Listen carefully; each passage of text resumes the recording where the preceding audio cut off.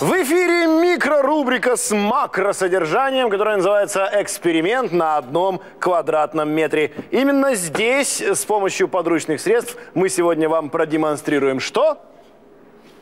Ага, преломление коэффициент.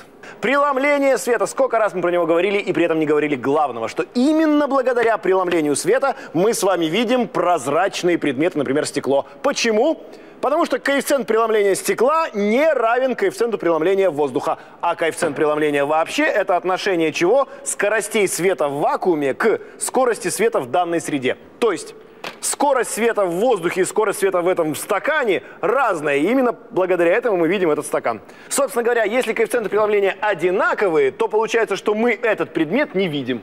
Ну, грубо говоря, если вот в этом вот стекле окажется что-то, что имеет такой же коэффициент преломления, мы его никогда увидеть не сможем. И благодаря этому я вам сейчас покажу один странноватый фокус. Итак, ребята, у меня здесь просто кружка с маслом. И все.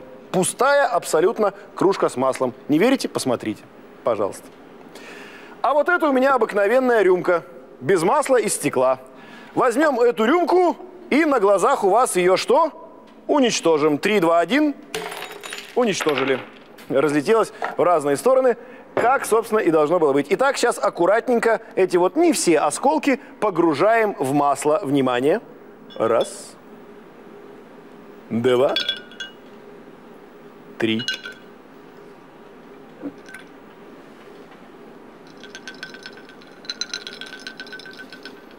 Аккуратно перемешиваем наши осколочки с помощью маленькой кисточки. Перемешиваем наши осколки, перемешиваем, перемешиваем, перемешиваем. И через некоторое время из этой кружки с маслом достаем, внимание, достаем из кружки с маслом. Али, оп, абсолютно целую рюмку. Как такое могло произойти? Очень просто.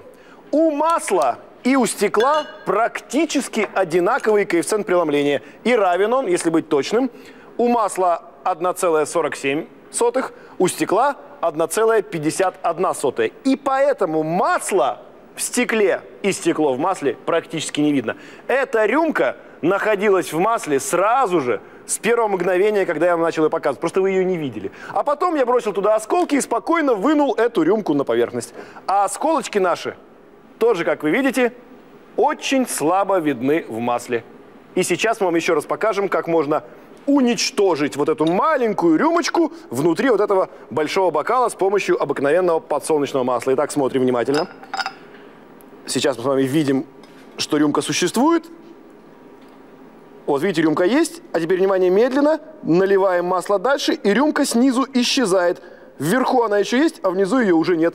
Вот видите, торчит маленькая макушка этой рюмки, а внизу этой рюмки уже совсем не видно.